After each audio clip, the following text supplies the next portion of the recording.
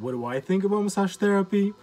Well, I think it's the greatest thing ever. Um, can you name one thing that's really good for you, really good for your health, for your body, for your emotions, for your mind, for your stress, just for you overall?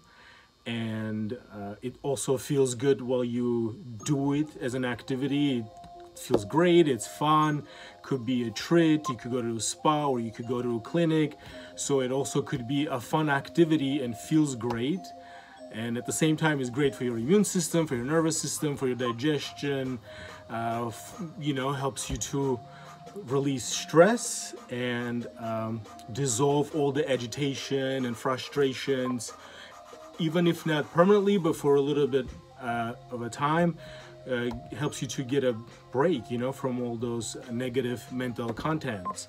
So I think massage therapy is the greatest thing ever. So if you're not getting massages, call your local therapist, find out who's the best, make schedule, uh, see if they have any time in their schedule, make an appointment, uh, you know, and keep massage therapy in your schedule.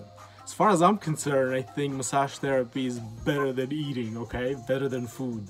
So I rather get a massage over anything uh, anyway. So I'm Zar from Clinical Massage in Cranford. Go get a massage, okay? Ciao.